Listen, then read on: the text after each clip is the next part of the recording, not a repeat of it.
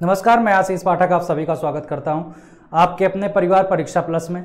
शासन के द्वारा जो है उत्तर प्रदेश और अधीनस्थ चयन सेवा आयोग में जो समूह ख और ग की भर्तियाँ हैं, उनके रिक्त पदों के विवरण का अध्याचन मांगा गया है और कहा गया है कि पंद्रह दिन के अंदर जो भी आपके रिक्त पद हैं ग और ख के जिनकी भी वैकेंसी जो कराती हो, जैसे सबोल किए कि समूह ख की जो वैकेंसी है, वो लोक सेवा आयोग के द्वारा होगी।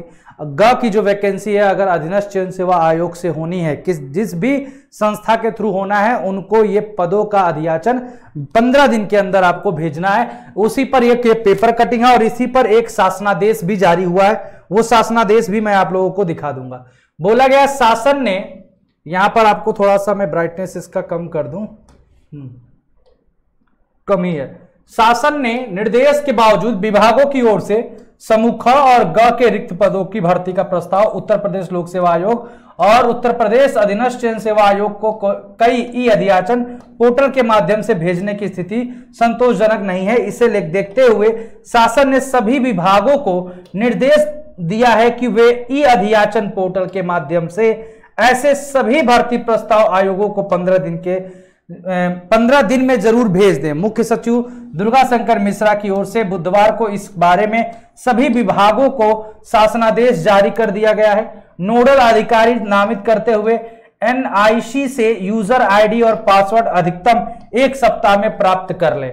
मतलब जो भी आपके विभाग है, अपना विभाग, अपना आईडी और पासवर्ड जो है एनआईसी से प्राप्त कर ले और उसके बाद से वो ऑनलाइन जो पोर्टल है उसके थ्रू आप अपने रिक्त पदों का अधियाचन जो है भेज सकते हैं। उसका मैं पूरा का पूरा वो दिखा दे रहा हूँ आपको कि कहाँ पे है। जो शासनादेश जारी किया गया है, वो आपका, ये देखिए शासनादेश। यहाँ पर देखिए, दुर्गा शंकर मिश्रा मुख्य सचिव, उत्तर प्रदेश शासन, समस्त अपर मुख्य सचिव मुख्य सचिव सचिव, उत्तर प्रदेश शासन, समस्त विधा, विभाग अध्यक्ष, कार्यालय अध्यक्ष, उत्तर प्रदेश।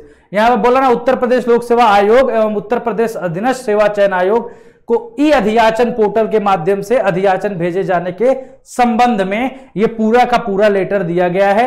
माननीय मुख्यमंत्री कार्यालय तथा शासन के क्रमिक विभाग द्वारा निरंतर किए जा रहे अनुसरण समीक्षा के फलस्वरूप अधिकांश विभाग या विभाग अध्यक्ष कार्यालय द्वारा विभागीय नोडल और नोडल अधिकारी नामित किए जाने की कार्रवाई कर ली गई है, परंतु पोर्टल के माध्यम से अधियाचन प्रेषित किए जाने के संबंध में कित कार्रवाई की प्रगति संतोषजनक नहीं है।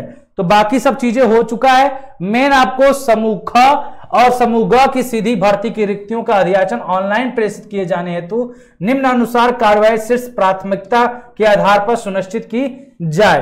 तो उसी के बारे में पूरा लेटर लिखा गया है। तो अभी ये हो रहा है कि अगर रिक्त पदों का अधियाचन पहुँचता है आपके आयोग में लोक सेवा आयोग और अधीनस्थ चयन सेवा आयोग में तो आपको भर्तियाँ ज़रूर देखने को मिलेंगी। अभी आपके पोर्टल के थ्रू अधियाचन ही नहीं पहुँचा है।